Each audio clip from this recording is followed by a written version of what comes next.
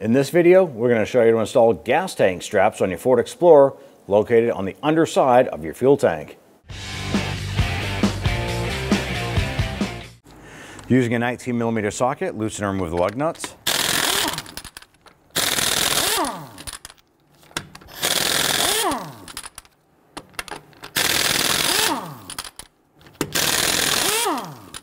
Once you have the lug nuts removed, grab the wheel,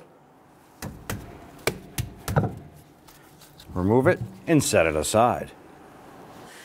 Now we're going to use a gas tank jack to just go ahead and support the tank in place here. Now if you're doing this in your driveway, you can go ahead and use your floor jack with maybe a 2x4 or something like that. And all you want to do is just make contact with this to keep it in place while we remove one of the straps. Now this job can be done by just by replacing one strap. You can do the pair, you can do them together, but you want to go ahead and make sure that you're supporting that tank no matter what you do. Now the driver's side fuel tank strap, the rear bolt is right here and it's accessible through the wheel well area. So after you remove the wheel, we're going to use our ratchet. It's a 13 millimeter and we're just going to go ahead loosen and remove this one here.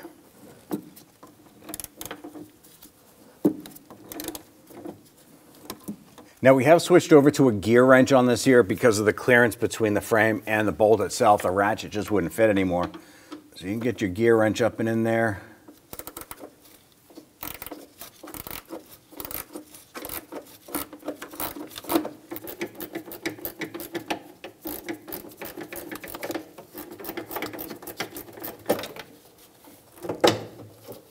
Gotta pop that bolt out. Now if we follow the strap up to the front, we have another 13 millimeter bolt here. Let's go ahead and loosen and remove that.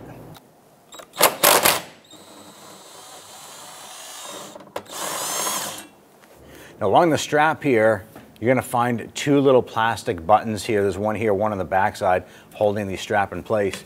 Go ahead and use a trim tool or a little pry bar here. You just wanna go ahead and work this off. And do the same for the backside.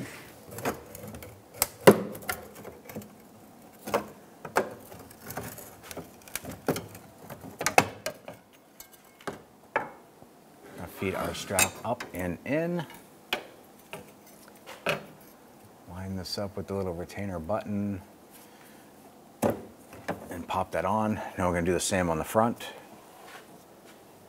Get line that up, push that on.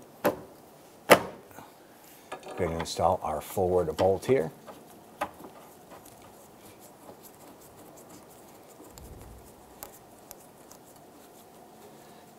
Let's go ahead and install the rear bolt.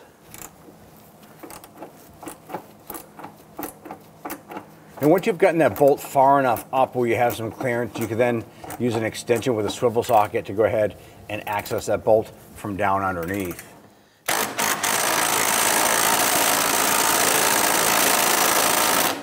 We'll tighten up our front bolt. And at this point here, we're to go ahead and repeat the same process for the passenger side. Once you have your straps completed, go ahead and lower your jack. Go ahead and install that wheel. We'll go ahead and start all of our lug nuts by hand. Once we get all of these started by hand, we'll then follow up by snugging them down.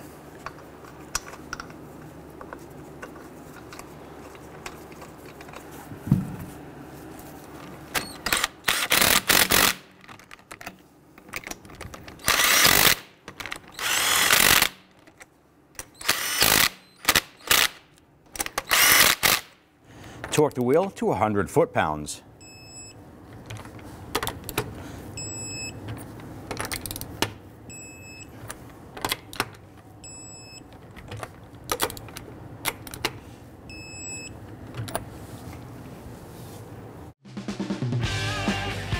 When only the best will do, demand TRQ. The only company that lets you view before you do. TRQ is committed to offering the highest quality aftermarket auto parts that are engineered for peace of mind. Thanks for using and viewing with TRQ.